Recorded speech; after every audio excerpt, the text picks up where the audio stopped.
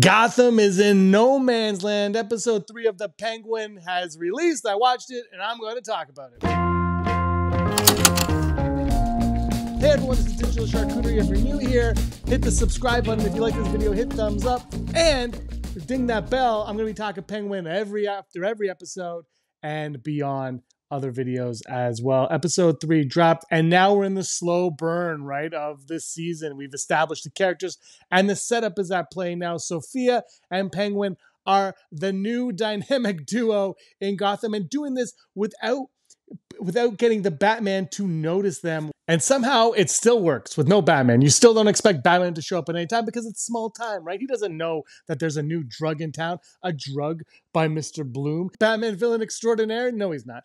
I don't think he's going to tie into what he is in the comics necessarily, but I like the nod at least by the name. That's not the only nod. Last week they name dropped No Man's Land, and this week you get Penguin in his No Man's Land attire, which was a nice little shout out there. Going on that route, I think they're going to slowly play into that as we get into the Batman 2. Speaking of Batman 2, Court of Owls is the villain many people are anticipating to be a part of that. I am on the train. I think somewhere in this Batman universe, in the Reeves verse, the Court of Owls will be making a play at some point. How, when, we don't know. But in this episode, I think they might have given us a little introduction with the character of Calvin, who was with Victor in episode one and has been missing since. If you don't know much about Calvin and the Court of Owls, let's get into it very briefly right here. Calvin Rose was a key character in the Court of Owls storyline, a former circus performer and escape artist, but he was recruited by the Court of Owls to become one of their lethal assassins known as the Talons.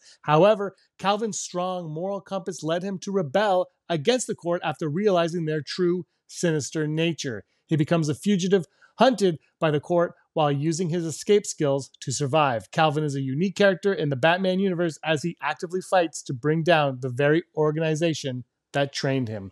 I don't think this character is going to manifest into this iteration of Calvin Rose, but it's a nice name drop, a nod uh, maybe to what we'll be getting from the Court of Owls in the future of this universe, the bigger picture of Gotham. Because the one great thing about the Reeves verse is that Gotham is a character in and of itself. It's not just Batman, it's not just the Rogues Gallery. Gotham is in there. But what is the who is the puppet master of Gotham? And I think all roads are leading to the Court of Owls. Partners now? Temporarily. All right, let's get right into the deep dive of this review. And uh, I will say I liked it. It's another solid episode, not one of the stronger ones, but it really showed Sofia and Penguin and their dynamic relationship and how they really don't trust each other. And you really learn a lot more about how Sofia doesn't trust Oz and why she wouldn't trust Oz. He threw her under the bus, if you will. Uh, he called her out to Carmine saying that she was the hangman killer, and she refuses to believe that she is the hangman killer. Some people have been speculating that her psychiatrist Julian Rush is the actual hangman killer. That remains to be seen. We'll find out, I guess, as this series progresses. Now, the show's taking a deep dive into the complex dynamics of Gotham's criminal empire, focusing on Oswald Cobblepot's relentless pursuit of power. This episode brilliantly showcases Oswald's tactical genius as he navigates the dangerous waters of Gotham's underworld, balancing fragile alliances while carefully plotting his next move. Colin Farrell embodies every ounce of this character's ruthlessness and ambition, turning what could be a standard mobster storyline into something more gripping and layered. The episode also spends time fleshing out the other characters, particularly Sofia Falcone, who continues to emerge as a real force to be reckoned with. Her power play for control over Gotham is heating up, and the show successfully sets the stage for an inevitable clash between her and Oswald. The tension between them feels palpable giving the audience a real sense that a bloody, inevitable showdown is just around the corner. we also get to see a lot more of Victor in this. we start off with Victor and we see Victor's point of view of the end of the Batman movie when the Riddler blows up Gotham and floods it. We see the aftermath and the consequences it has on Victor and Victor's friends in his neighborhood.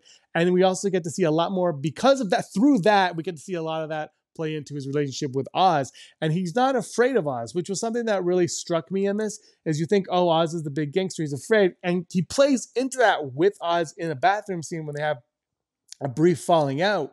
but he has a moment to go with his girlfriend and leave Gotham City forever. And Oz gives him that out. And ultimately, he decides to come back. In this episode, we get to see how he how how Victor slowly falls into the trap of being in the mobster life. He, you know, we see him, he starts innocent and now he's slowly fading in. And by the end of it, he's all in. He is all in on the life of crime with with his mafia family now. And what's even more impressive is how this show continues to blur the lines between good and evil. While Oswald is cl- clearly the anti-hero, the narrative doesn't shy away from showing his vulnerability, whether it's through fleeting moments of doubt or his strained personal connections adding more depth to his character. Overall, episode 3 of The Penguin is an excellent continuation of this gritty crime saga. With each episode, the stakes are rising, character arcs are becoming richer, and the power struggle within Gotham's dark world is more thrilling than ever. The series continues to cement itself as one of the best new crime dramas on television 100% and i love this show i like i say i love this show i don't watch a lot of tv but this one i am all in on when this episode ends there's a moment when the when sofia and penguin are sharing the cigarette at the end and she's like i don't think i can ever trust you again because he put her in prison for being the hangman even though she claims she's not the hangman doctor she's not the hangman she says uh, and he says well you're just gonna have to just continue to let me show that you can trust me. And then that moment, the Maroni family shows up, and that's when Victor comes to save the day. But when Victor saves the day, Oz, Penguin gets in that car and they scoot out of there, right? They rush out, and he's and Victor says, Well, what about Sofia? And he's basically like, F her, screw her, we're out of here. So I don't we don't know where Sofia ends up at the end of this episode. And we don't know where her head's gonna be at when she wakes up from this episode either. Because Oz, it's not looking good for Oz Cobb when he ditches his new partner in crime, who doesn't trust him at all for what he did to her. And it keeps getting, they keep pushing that point. Uh, Viti, they make a power play for Viti. They catch him.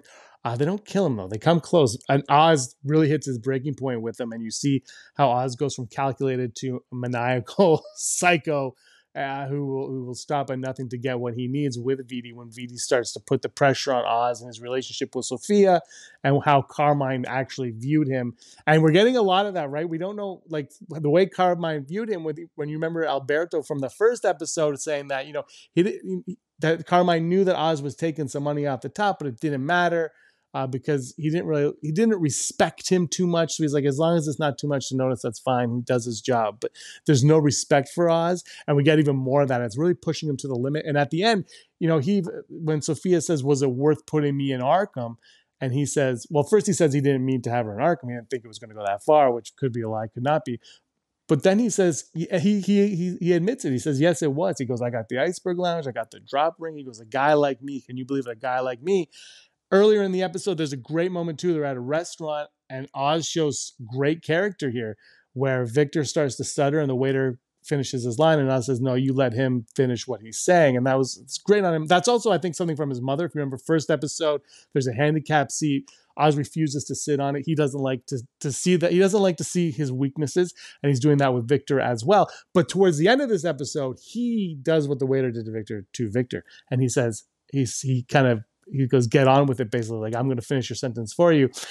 Oz is a very insecure person who plays by his rules and only his rules, and he doesn't even have to play by his rules. He makes them up as he goes along. He just wants to get to the top of the class any way he can, as fast as he can. But another solid episode of The Penguin. HBO, you're crushing it. It's going to be weird, though, going from all the F bombs smoking to the Batman 2 where you know he'll have like a candy cane in his mouth and uh and no probably no gun like no no f bombs he'll be like friggin bat the friggin bat again ah, ah. i still think victor's gonna die because he is jason todd. Thanks everybody for watching. If you like the video again thumbs up subscribe ding the bell. We'll see you next time. Thanks for watching. Really appreciate your time. Let me know if you guys are liking the show in the comments down below